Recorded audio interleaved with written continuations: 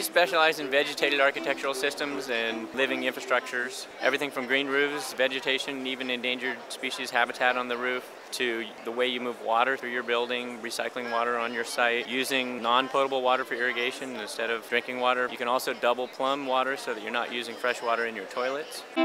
The green roofs are a big part of our services and when it's time to put a new roof on your house, it's a great time to look at that. The roof system is actually a really good way not only to protect your roof, because suddenly your roof is not exposed to sunlight and ultraviolet rays and it's not exposed to physical damage and normal wear because that has soil and plant layer on top of it. But it also reduces the stormwater on your site. With green roofs not only hold the water, but the roof actually acts as a filtration system for the water as well. So you get cleaner water, which makes it much better to put in a cistern, for example, and reuse right on the site. Because we're finding the roofs last longer than normal roofs, and we haven't had any leakage issues to date. Green roofs are expensive. I mean, that's that's the truth. There's structural loads involved. There's also a certain amount of landscaping that's going on on your roof, which is sort of an added element depending on your goals. Savings can range from expedited permits, which can be up to nine months less time to get your permit, which for a large project, the carrying costs alone would pay for the green roof. It depends on if you have stormwater issues, if you're trying to collect water on your site. To a great extent, the greener you go with your project, the cheaper each component becomes. The systems tend to assist each other. That's why we start talking about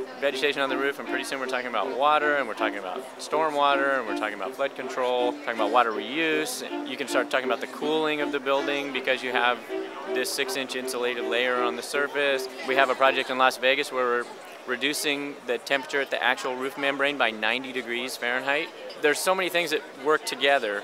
You start getting these economies of scale and sort of synergetic savings